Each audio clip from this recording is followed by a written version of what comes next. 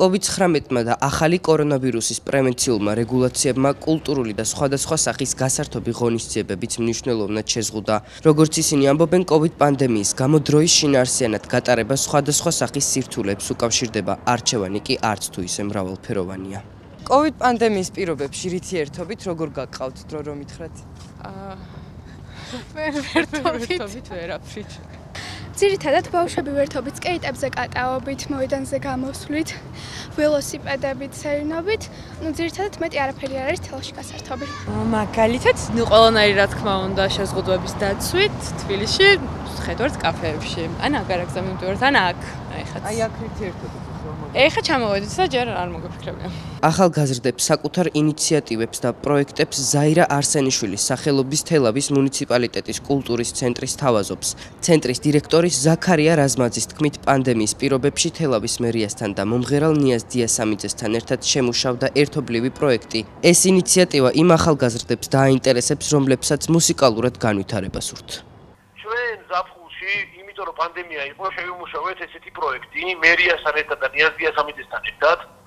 ვიცით, ნებისმიერ ანუ ასე ვთქვა, თელავში, თელავის მუნიციპალიტეტში მაცხოვრებელ ბავშვებს, ანუ ახალგაზრდებს ასაკი დაახლოებით 18 წლამდე გვაქვს ჩვენი გამოცხადებული, რომლებიც წერენ თავიანთ მუსიკას და ასე ვთქვა, სიმღერებს. იმ შემთხვევაში თუ იქნება ესეთი ახალგაზრდები არიან, რამოდენიმე არის უკვე ავარჩიეთ. ვისი გადაცემას უნდა ჩავწეროთ პროექტი აკუსტიკა რო არის გეცოდინებათ. ეს უნდა გახდეს სატელევიზიო პროექტი. და ეს პროექტი მოიცავს შემდეგ რაღაცას რომ ამბავსთან ერთად იქნებიან პროფესიონალური მუსიკოსები ვის თავის მუსიკას დაუკრავენ იქნება რეპეტიციები და მე ამას იძლევა სატელევიზიო სახე ეს ახალგაზრდების ინტელექტუალური თამაშების დაინტერესებას როგორც წესი ინტელექტ კლუბი რასად როდის ცდილობს. ახლა კლუბის წარმომადგენელი თელავში აჩიკო მჭედლიშვილი არც თუ ოპტიმისტურადაა განწყობილი ამბობს რომ COVID-19-ის გამო სასკოლო ლიგის საგაზაფხულო ჩემპიონატი ვერ ჩატარდა. საშემოდგომო ჩემპიონატის ჩატარება კი კითხვის ნიშნის ქვეშ დგას. თელავის ინტელექტ კლუბს კორონამ ხელი შეუშალა ასე ვთქვათ. ვერ ჩავა ჩავატარეთ საგაზაფხულო ჩემპიონატის სასკოლო ლიგის. ასევე ქვეშაა რამდენად მოახერხებთ საშემოდგომო ჩემპიონატის ჩატარებას იმიტომ რომ ეს რეგულაციები რომელიც ახლა მოქმედებს პრინციპში შეუძლებელია შესასრულებლად ჩვენისთანა კლუბისთვის. ნახოთ როგორ გადავეწყებით ან გადავეწყებით თუ არა თუმცა ცოტა პესიმისტურად ვარ განწყობილი საშემოდგომო ჩემპიონატზე. იმედი მაქვს რომ ყველაფერი კარგად იქნება კორონა მალე გაგვანებებს თავს და თელავში ინტელექტუალური თამაშები კვლავ იგივე ტემპით აღდგება.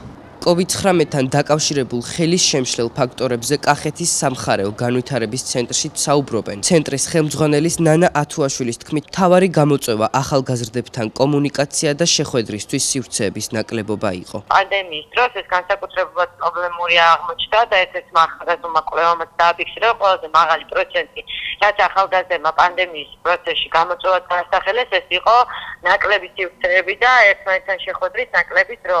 ეს ის ყველაზე მეტად მეტად ჭირდათ ახალგაზრდებს უჭირდათ სახში ყოფნა და ის რომ არ ხონდათ საშუალება რომ ერთად ყოფილიყვნენ და ვთქვათ სწორად გაეტარებდნენ თავისუფალი დრო.